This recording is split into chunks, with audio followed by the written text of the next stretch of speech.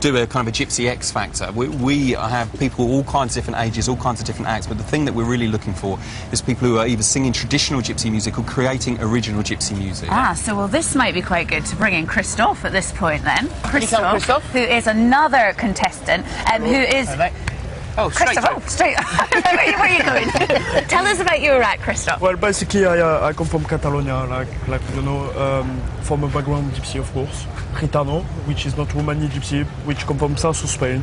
I was born on the border of France and Spain, and my music is um, called flamenco rumba. So how come did you end up in Totnes then in Yeah. Devon? It's a long story indeed. I, uh, it happened that I came in England where I met Jack Bowers, and I'm very happy about that, very proud. And um, I was traveling a lot with my wife, uh, playing my music, of course, Yeah. everywhere. And suddenly I was in love with Sunny Devon and Totnes. Sunny Devon, Sunny beautiful Devon. sunny Devon.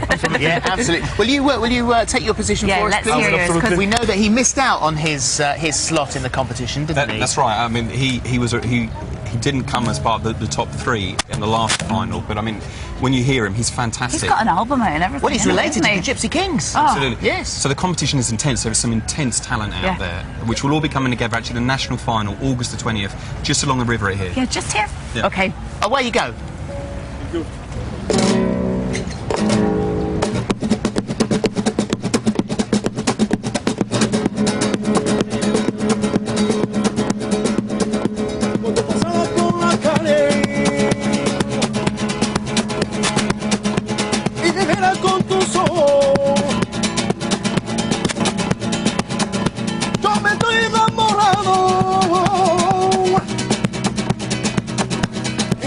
Pongo a cantar.